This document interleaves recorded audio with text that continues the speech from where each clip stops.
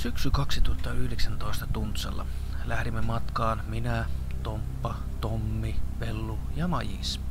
Määränpäänämme Härkätunturin erätupa. Ensimmäisenä kohteena oli Kuorjusselän tammikkolaki tai männikkolaki, jonne lähdimme vaeltamaan vanhaa kelkkauraa pitkin. Ruskalapissa oli jo pitkällä, joten pääsimme nauttimaan erittäin kaunista maisemista vaellessamme täällä Tuntsan erämaassa.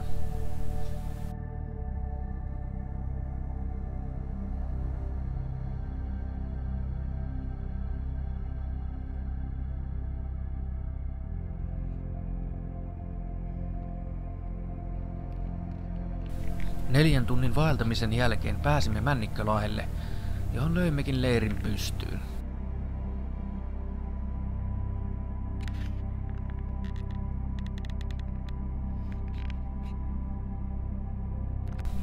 Tervaskannon liekillä makkarakin maistuu kummasti paremmalle.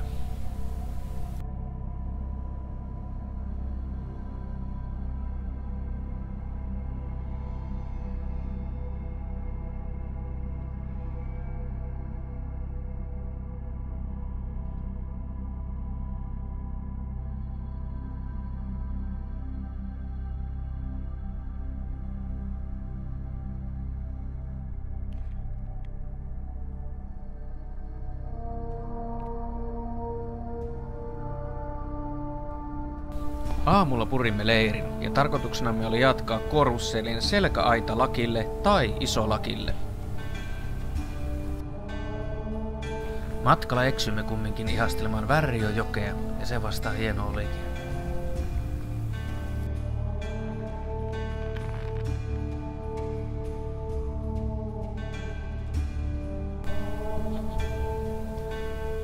Korvusselien isolaella laitoimmekin leirin pystyyn Tämän jälkeen lähdimme tutustumaan lähimaastoon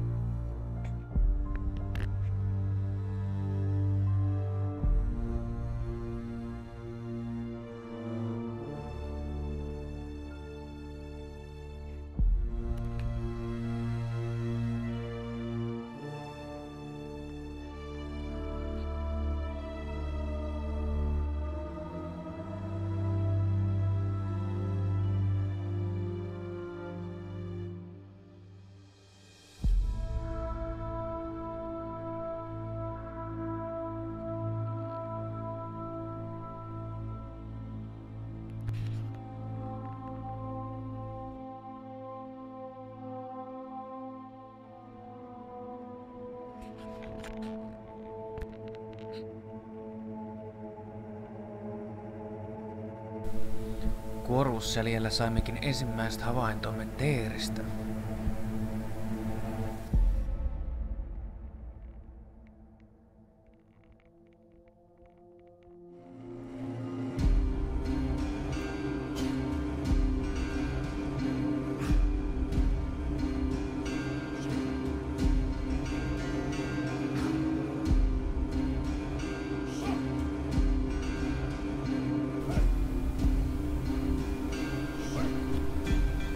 Majista ja Tomppa olikin jo lykästänyt. Tapi oli suonut heille saaliiksi riekon.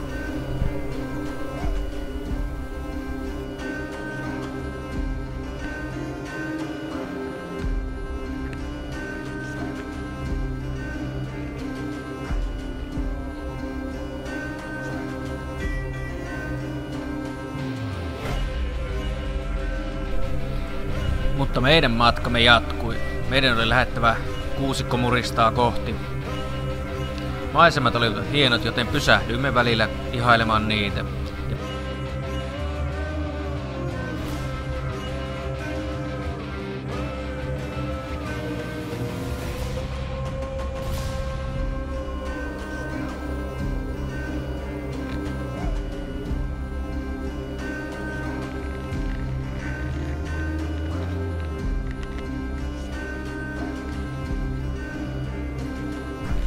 Myönnettäköön, että väsymys alkoi myös painaa ja välillä oli pakko tankata vähän energiaa enemmän kuin tarpeeseen.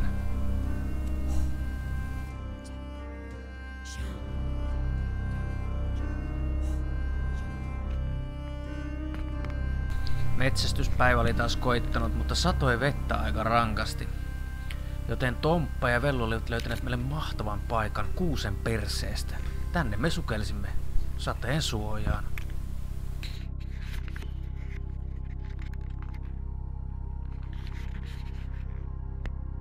Näissä maisemissa kelpasi olla teeripassissa, vaikka lintuja ei näkynytkään.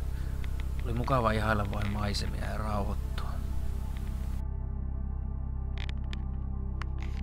Tommi ja Mais olivat korusselän päällä törmänneet riekkoparveen, niin sieltä tarttuikin saaliiksi kaksi riekkoa.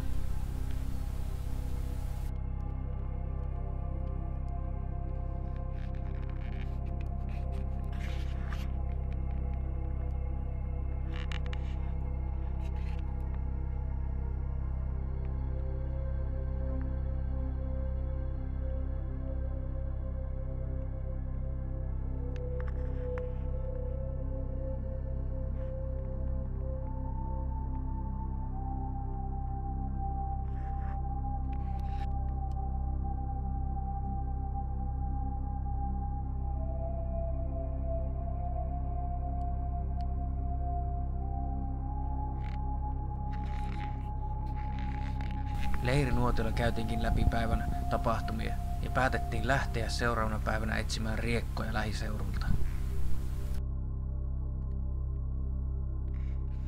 Aamulla Halla oli yllättynyt ja keli oli selkeästi pakkasen puolella. Olikin mahtava lähteä ulos liikkeelle ja liikkumaan.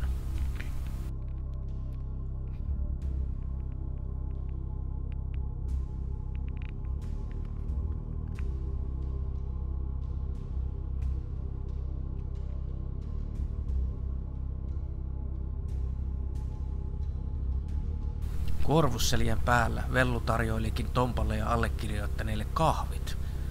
Ja nämä kahvit onnistukin erittäin hyvin. Kahvien seurauksena saatiin ensimmäinen kanalintu allekirjoittaneelle. Saaliiksi tulikin nuori koppelo. Tapio suosi myös vellua riekolla. Allekirjoittaneen someinto saattoi hieman hämmentää Tomppaa mutta Tomppa otti sen hyvin rauhallisesti. Tommi ohjeisti allekirjoittanutta ensimmäisen kanalinnun kanssa, kuinka se suolistetaan ja putsataan.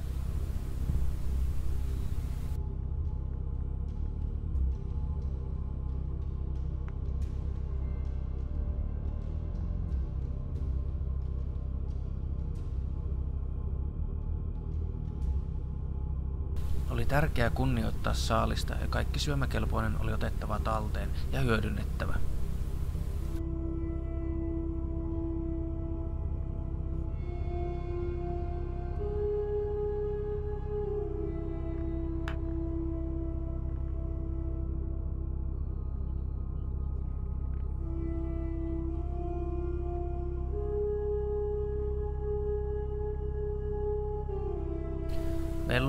Hommassa jo vanha tekijä, joten häneltä tämä operaatio onnistui erittäin näppärästi.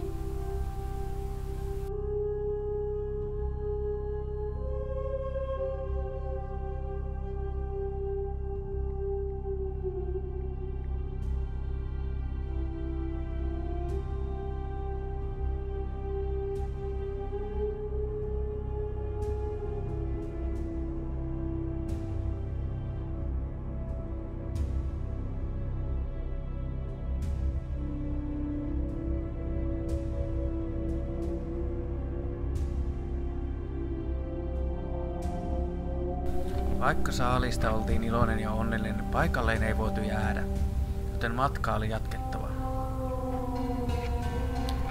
Seuraavaksi kohteenamme oli Härkätunturin erätupa.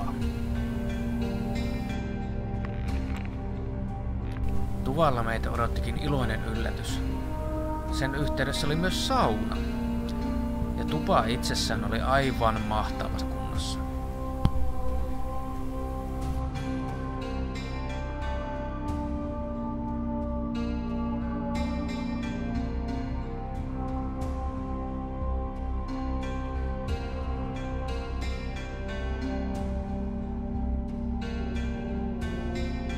Pian pimeydessä tuvassa nautittiinkin kaatoryyppyjä. Seuraavana aamuna satoikin ensi lumi.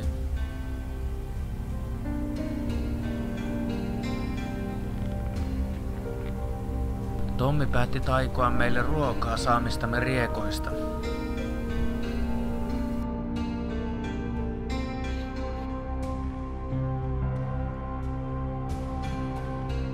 Vesikielellä katsoimme, kun eräkokkimme alkoi taikoa meille ruokaa.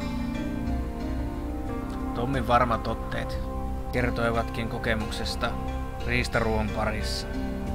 Oli hieno seuraa tätä operaatiota sivusta ja tietää, että kohta pääsee nauttimaan oikean riista-aterian erämökissä, erämaassa.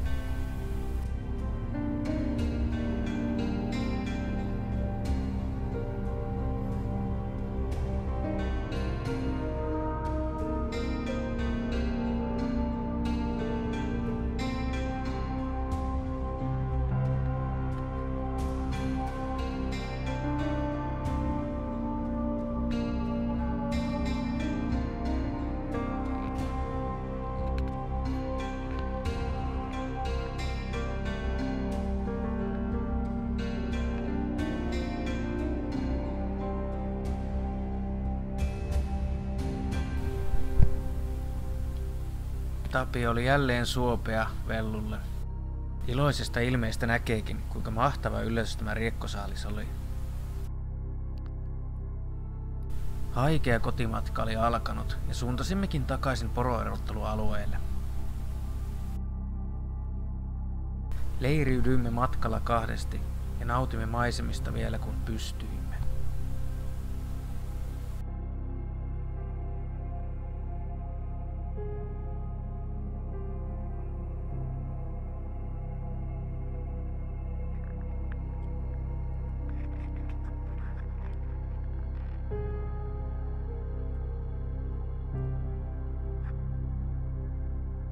Tapi oli erittäin suotuisa ja antoi meille viimeiseksi saaliksi vielä nuoren teeriukon.